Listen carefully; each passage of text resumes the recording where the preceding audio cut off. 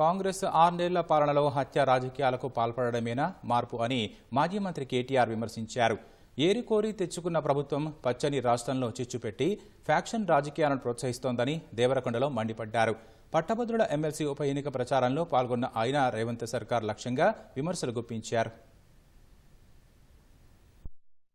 తెచ్చుకున్న ఈ ఆరు నెలల్లో ఏం జరిగింది? దయచేసి మా విద్యావంతులైన మా తమ్ముళ్ళు మా చెల్లెళ్ళు ఆలోచించాలని నేను కోరుతాను ఏం జరిగింది కొల్లాపూర్లో?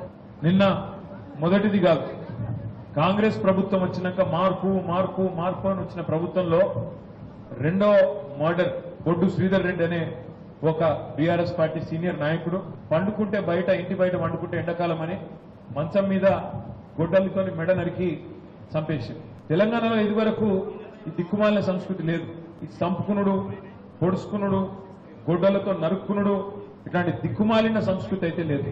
ఇవాళ ఫ్యాక్షన్ సంస్కృతిని కూడా తెచ్చి హత్యా రాజకీయాలను కూడా తెచ్చి దారుణమైన అవతల వాళ్ళు అవసరమైతే నరికేయాలి ఏదో ఒక ఫేక్ కేసు అన్న పెట్టాలి ప్రత్యర్థులను వేధించాలనే ఒక దిక్కుమాలిన దిగజారుడు రాజకీయాన్ని తీసుకొచ్చిండు రేవంత్ రెడ్డి గారు కాంగ్రెస్ ప్రభుత్వం.